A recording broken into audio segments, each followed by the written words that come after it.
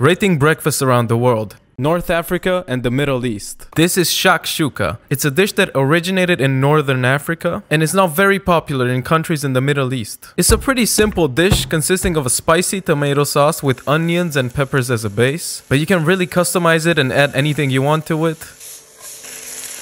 After the sauce has been simmering for a while, I create these little holes where I will deposit some carefully cracked eggs and poach them for a while with the lid on. And I have to admit, I am a bit biased because I absolutely love this breakfast. I make this for myself pretty frequently, and this is in my opinion a complete breakfast that takes very little time to put together. I have to give this a 10, especially because I finished the whole thing off camera. Comment your country so I can make your breakfast.